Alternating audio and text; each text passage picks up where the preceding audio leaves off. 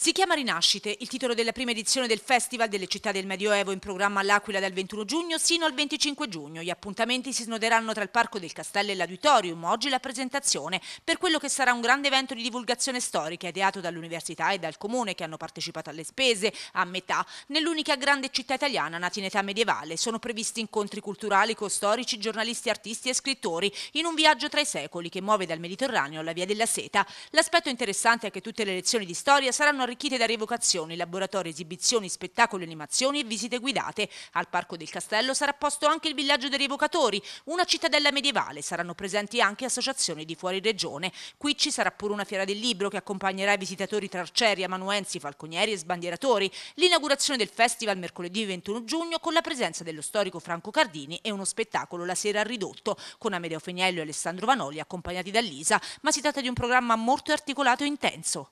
È un'iniziativa molto importante anche eh, diciamo di un certo peso economico che abbiamo voluto mettere in campo per valorizzare questo periodo storico che coincide con la fondazione eh, della città e con i suoi passi iniziali, perché, perché l'Aquila nasce eh, in pieno basso medioevo e che vuole essere però eh, contestualmente un momento di divulgazione scientifica rigorosa e, e, anche di divulgazione popolare per far avvicinare la conoscenza della città alla popolazione sin dalle sue origini.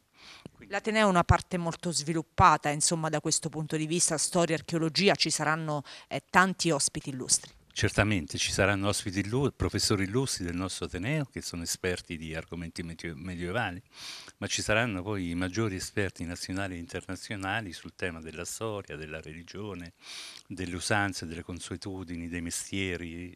E questo diciamo, garantirà una settimana di intrattenimento a 360 gradi, dalle cose molto serie, molto approfondite scientificamente, alle cose più divulgative che attrarranno sicuramente l'interesse di tutte le fasce di popolazioni, spero soprattutto dei giovani.